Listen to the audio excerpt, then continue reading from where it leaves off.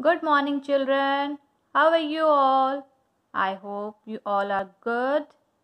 Okay, so, children, today we are going to learn about the concept of big, bigger, and the biggest. Okay, children. So, now let's start. So, children, I have something to show you. Okay. Tell me, what is this? Yes, these are fishes. Okay. So, children, can you tell me which fish is big?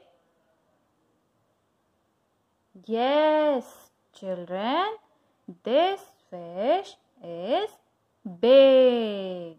Okay. So, now I have one more fish. Okay. Now tell me which fish is big? Yes. This fish is big. So what should I call it now? This is a bigger fish. So children, this is a big fish and this is bigger fish. Now I have a very big fish. Very big fish. So what should I call it now? I will call it as biggest fish. It is the biggest fish of them all. Because this fish is bigger than this and this fish. Okay, children? So, next is so, children, I have these apples. So, can you tell me which apple is biggest apple? Biggest. Yes, this is the biggest apple.